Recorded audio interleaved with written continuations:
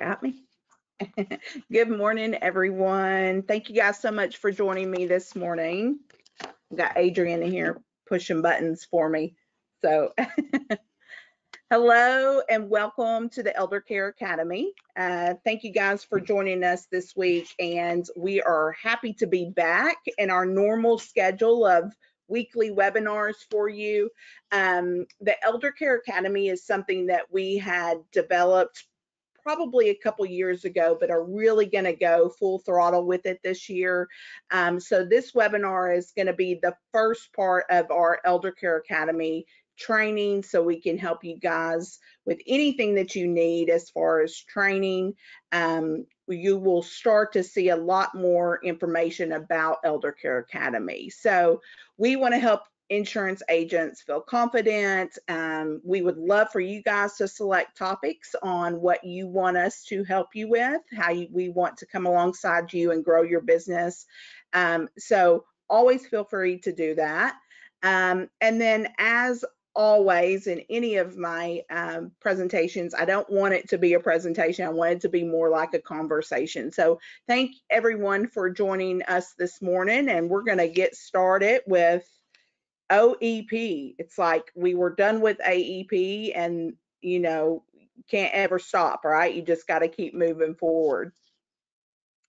So um, OEP, it's going right now. Um, it is the Medicare Advantage open enrollment period. If you sign up for a Medicare Advantage plan in the fall and then you decide that you don't like it, um, once it takes effect January, you have until the end of March, March 31st, to make a one-time change. So remember, OEP, and we'll go over that throughout this um, slideshow, is that um, it's not for prescription drug plans, it's just for Medicare Advantage plans. So a little bit about what we're going to cover this morning is um, the dates and what all changes can be made during OEP, what all cannot be changed during OEP, which is really, really important. Um, some often things that you can do during OEP, some things that you should be doing as far as talking to your clients and, and things like that. Um, we will dive in more in depth detail on that, and then additional tips to make OEP successful. Um, it is a big time of the year for you guys to uh, do a lot of client retention uh, on any of those products that you wrote them in the fall. Um, so there's lots of things that we'll we'll kind of go over in today's show. Um, if you guys would comment, um, if you have questions or comments or anything like that, um, please put your comments there. I will do my best to answer them. Usually I have Adrienne in here with me and she can usually help me guide through the questions and so we can answer those. But good morning, Mathani. We are live on Facebook as well. Good morning. Thank you and happy new year to everybody as well. I don't think I introduced myself. I'm Jennifer Harris. I'm the National Marketing Director here. Um, we have been out of the game doing our webinars uh, for a couple weeks. It's hard to do that during the holidays and during AEP. You guys are out busy riding in the field and we don't want to distract you with our 30 minutes um, here with you guys, but we certainly enjoy it. So let's get back. Um, this is the ultimate reference page for OEP. And we uh, have put out a blog about this. If you don't see our blogs, um, we usually try to put emails out that have those blog links on there. We try to put valid information that you guys need and quick reference guides.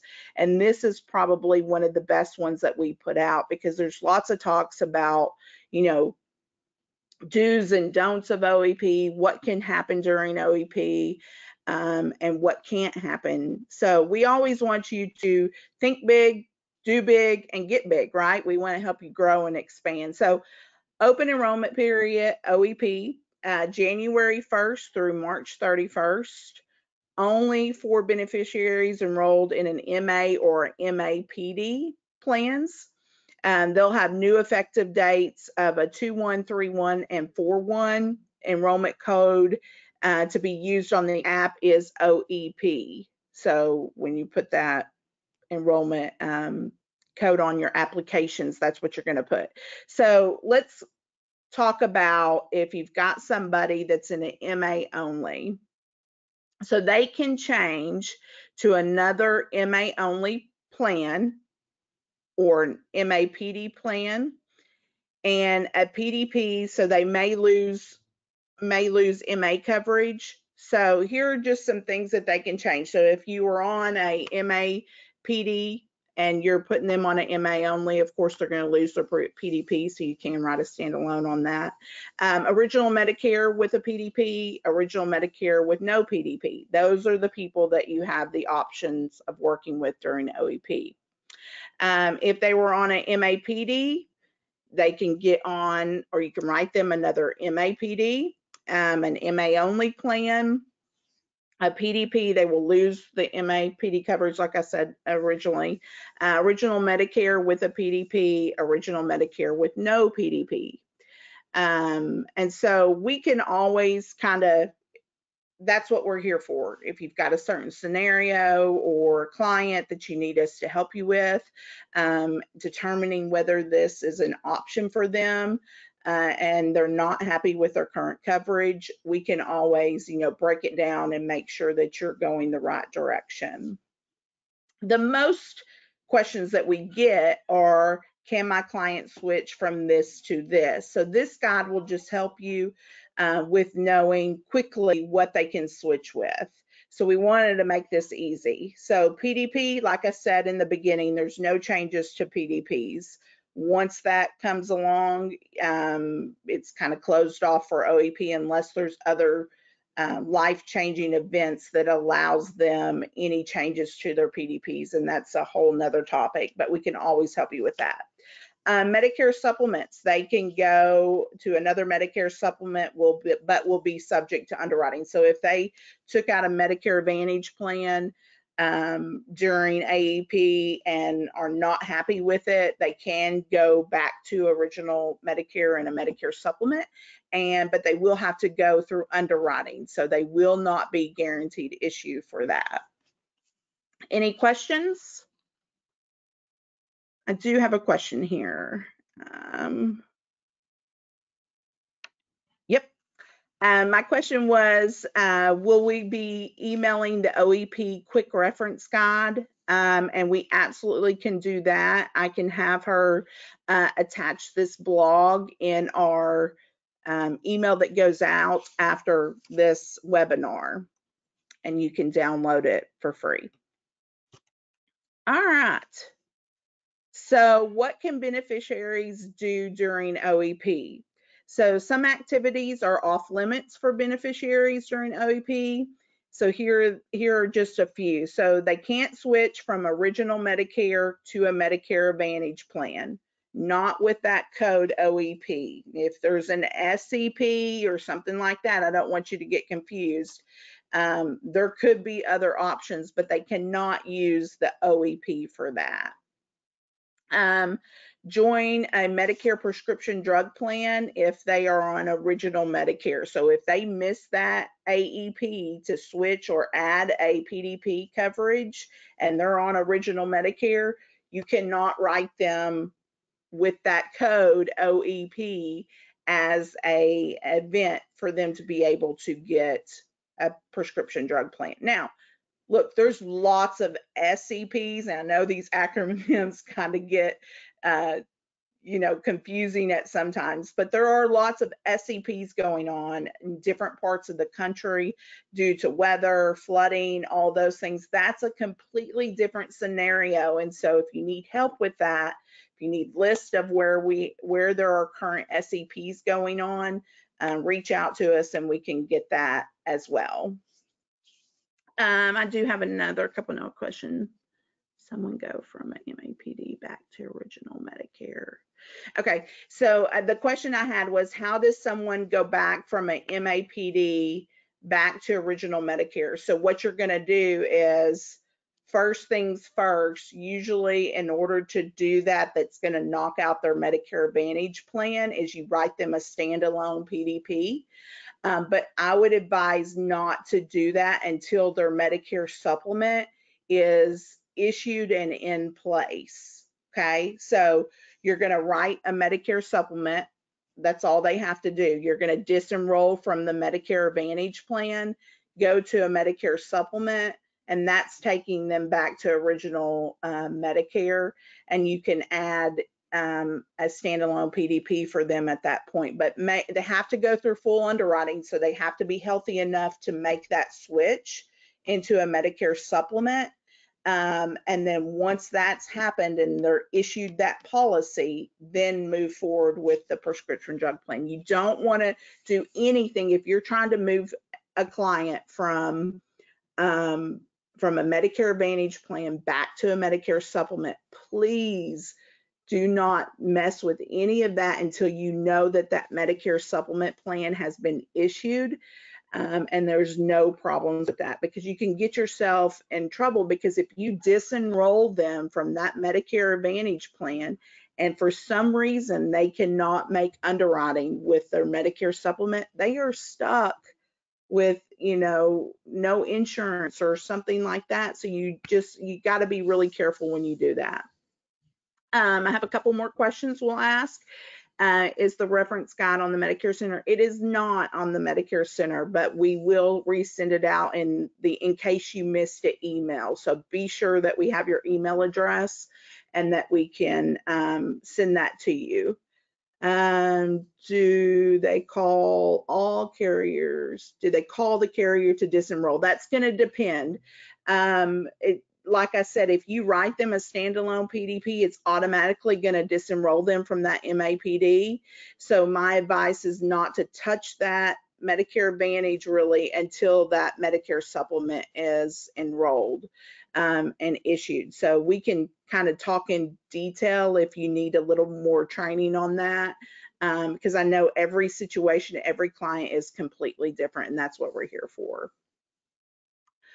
Um, another question I have, love these questions coming in. If someone joined a MAPD during the, their OE, their initial open enrollment period, okay, will they still need to go through underwriting if they go back to original Medicare and a supplement? So that that's a little tricky. So it depends on when they uh, how long they have had that Medicare Advantage plan. So remember that's that they have a trial right, that 12 month trial right. If it's within that trial right, then they can go back to their their original and if if that original Medicare supplement is available, then they can they have to go back to that. But if not, then then they are guaranteed issue back into a Medicare supplement. But that's only if they're within that 12 month trial right.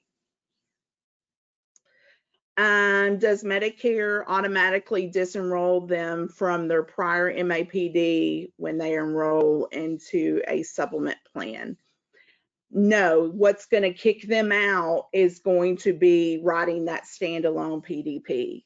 So once you write that standalone PDP for someone that had an MAPD, that's what's going to kick them out of that med that MAPD, that Medicare Advantage plan and you're going to be able to put them on a Medicare supplement. But once again, I can't stress it enough. Do not do that until that Medicare supplement has been issued and that policy is in force.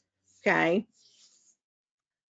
Um, I think that's all the questions I have right now. So we'll jump back over here. So uh, a couple different things that are not an option during OEP is to um, switch from a PDP plan to another PDP. PDP. So you can't switch from one PDP to another PDP. So remember, OEP is not for prescription drug plans. Um, it's only comes in that option when you're moving someone off of a MAPD and putting them onto a Medicare supplement, and then you're having to write them a standalone PDP. So what can you do during OEP? Here we go. Uh, oh no, this is still what you cannot do. I'm sorry. You cannot do this stuff during OEP. You can, there's no soliciting. So you can't share materials, advertising, the ability to make a plan change or referencing OEP in any way.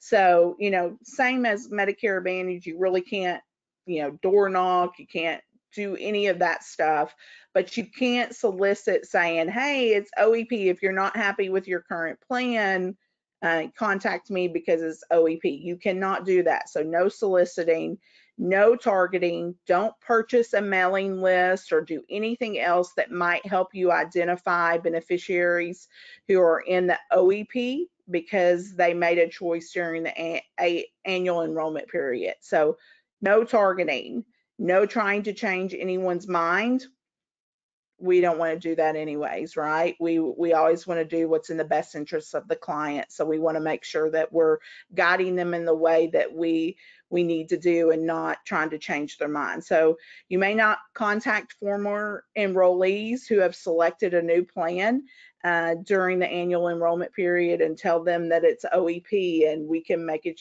uh, make a change. You can't do that. So no sales activities. You can't engage in or promote any activities that intend to target OEP as an opportunity to make further sales. So remember, you cannot do that. Um, so I did have another question real quick. What about clients that called prior to OEP after December 7th. So if they contact you, that's a whole different ball game, right?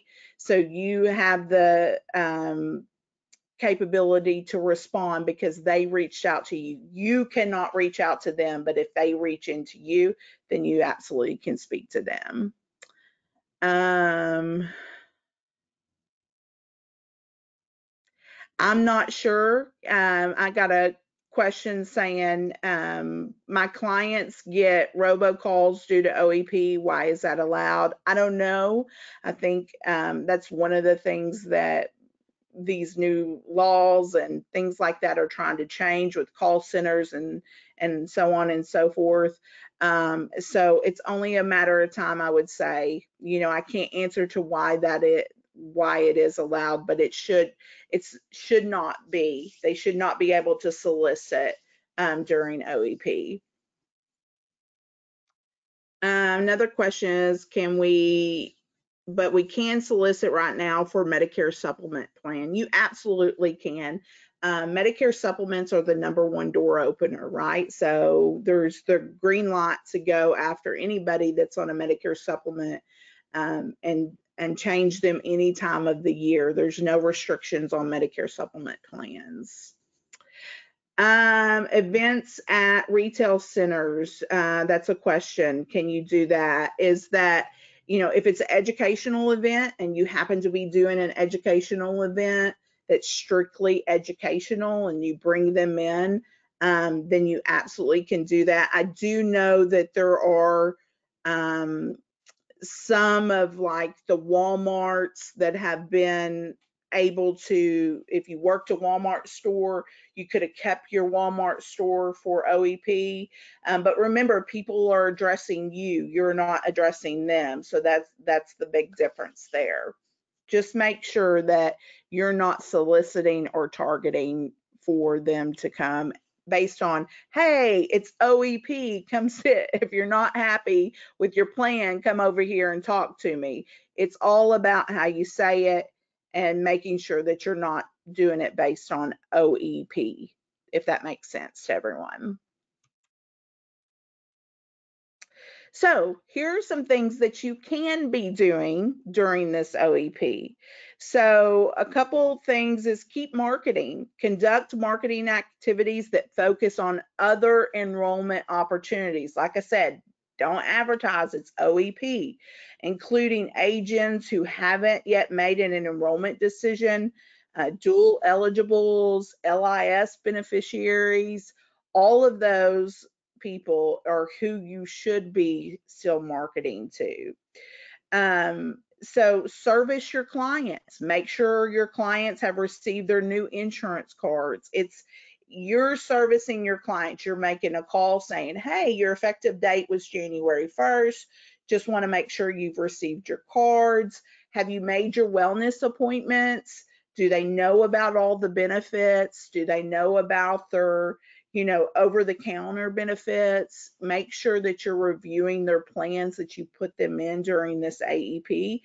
And then guess what, guys? When if they're not happy with it, if if they've even had time yet, um, this early in the game to utilize their plan, and if they're not happy with it, they're going to tell you. So be smart, service your clients. We should always be doing that anyways, but it just gives you a little bit of an end during this time. Be responsive, distribute materials, and meet with clients who have requested information. So if they've requested any more information, be sure to do that. Promote five-star plans. Five-star plans are a way to sell Medicare Advantage all year round other than when someone's aging in. So thanks, uh, you know, there's, like I stated, there's SEPs. Um, your client can switch to higher quality outside of the annual enrollment period um, on five-star plans age-ins, like I said, people that are turning 65 that have, um, or maybe not just someone turning 65. There's more people these days that are working past age 65. I mean, look, my mom just retired on the 22nd of December and she's 75 years old.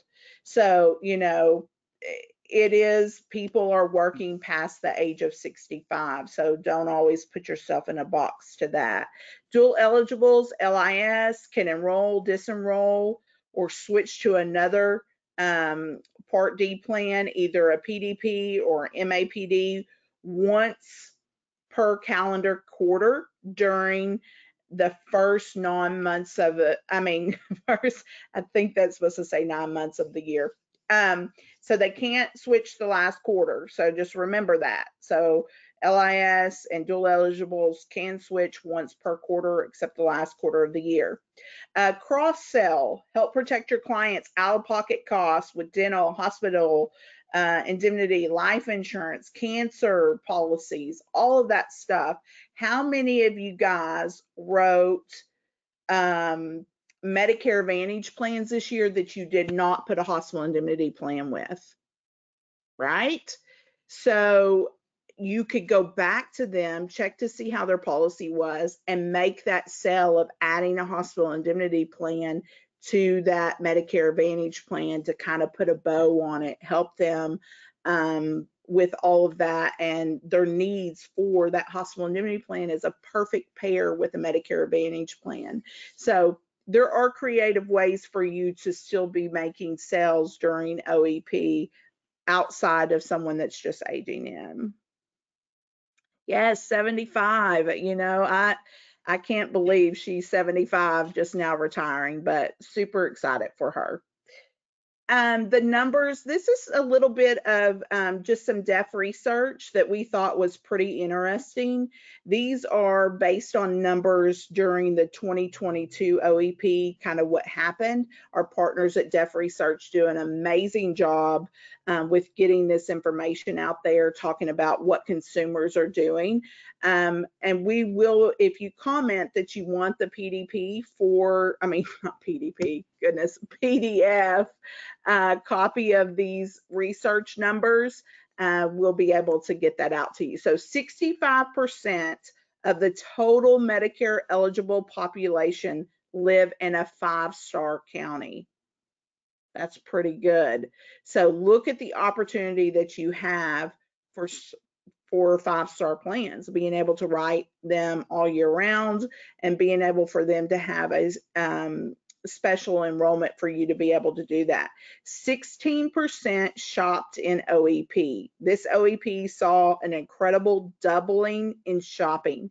So consumers are shopping during OEP. They've gotten plans, they're not happy with them, or they're just got a rate increase um, on their Medicare supplements. And so they're shopping. So whether that's writing them another medicare supplement plan um, or if you're able to make that change for them on based on an oep so um, as seen on the chart there shopping activity there they did shop did not shop um, shopped did not switch so if you look at that there were you know based on that, there were lots that shopped, 26% um, did not shop, I mean, shopped but did not switch. So look at these plans, switch carriers, 2% switch carriers, um, 5%, you know, all this is based on the research that they have done. So that purple line is what what's happened here. So if you look, 64% didn't shop, 65% um, or 16% did shop. So this is just some good information. If you see that for seniors who feel that general inflation has hurt their ability to afford health care the most, shopping was a robust 26% and switching hit a double digit of 10%. So I'm sorry, I was reading that chart a little wrong. So 10% did switch during OEP. So just just some pretty cool numbers that our partners at Deft Research put out. All right, so uh, we want to make sure that you have all of our wonderful people that you can reach out to at any time. This is our fabulous team here. Um, some faces might look familiar, some some may not, but here's our contact information here. If you ever need to reach out to us, um, always you can email info at eisgroup.net. Um, if you're not sure who to reach out to, or you can reach out to someone um, directly as well. And our phone number is over here. Um, so I'm going to open the floor for any more questions that you have. I know we kind of went over a lot of information. Oh, she, Adrian walked in on me and I'm like, what? Can they not hear me? okay, so there is a Facebook question. I have no idea how to get to it, Adrian. Oh, I see him. I see him. Okay. Um, good morning, Stephen. Um, I have a client that lost coverage September 22nd because of Part B premium not being paid. She is now eligible February 1st again. Enrollment period is SEP, right? Um, let me look into that, Mathani, because I don't want to tell you the wrong answer. My first thought would not be, uh, could be an SEP, but it it might be something different. So I'm going to take that as a takeaway, and I'll get you the answer today. Um, and then another question: If you're in a retail location there, a way to is there a way to start a conversation? Um, I think the creative way to start a conversation is, you know, maybe what their health care coverage is, you know, what they have, um, just educating yourself on what they have currently. Um, you're not coming to them saying, are you unhappy with your plan? Um, it's just, hey, you know, is there something that I can help you with as far as making sure that um, if you don't know what your current benefits are, what what we can do there. So it's it's a little tricky and sometimes your wording. Um, I would just kind of be cautious in the fact that you're as long as you're not saying, hey, it's OEP, come over, you can switch your plan if you're not happy, I think you're pretty safe to do your normal um, rules within inside the retail program. Any other questions? I don't see any others. Okay, I do. Uh, can you please give an example of dual eligible that can enroll in a PDP or MAPD in a certain quarter period of the year? Um, so if you're dual eligible, you can switch your plan one time, once per quarter. So if they were in a, a different um, Medicare Advantage plan you know, last quarter, that's not a good example because they can't switch the last quarter of the year. But let's say it's further in the quarter. So they can switch plans once per quarter. Um, no matter what, they get that eligibility one time a quarter. I hope that answers your question. Whether they're existing dual or becoming dual, right? Mm, yeah, it doesn't matter. If they're currently a dual eligible, they can switch once per quarter. If you're writing a new, newly eligible, dual eligible, then They get that one time for this quarter. So you enroll them. They, they just became dual eligible. You enroll them. They've only got that one time this quarter. Now, next quarter, you could switch them again. Um, is this the first training of the training series? Um, so our Elder Care Academy is, this is the first training that we have put out this year. Um, our next training is going to be probably our endurance training. Um, will be part of that that we do every year. But we are currently trying to get our year scheduled, but we would love your ideas on any type of trainings that you want to see in the Elder Care Academy. Um, that's what we're here for. We we want to know where we can, you know, meet you where your needs need to be. And so shoot us an email to that info at eisgroup.net if there's something specific that you want some training on, and we'll certainly love to start that. Um, let me see. Can here's another question. Can we ask a consumer about their ACA plan to possibly help them right now if they have an SEP? And sometimes there's Medicare person in the home can we possibly help? So, absolutely. Um, ACA, if you're in there and their ACA plan, if they currently have an ACA plan, or if you're going into that house writing an ACA plan, um, one of our great partners, Galen Hendricks, if you haven't listened to any of her stuff, does spouse in the house. So um, it talks about if if you're there for um, one of the husband or spouse or whatever, and then the other one has a Medicare supplement or a Medicare plan, you can absolutely help them because they're addressing you. You're not soliciting it. That's the key. If you're already there helping the, the spouse and then the other one needs help too, you can absolutely open that door and do that. Um, in what scenarios would a five-star plan fit outside of OEP, IEP, or AEP.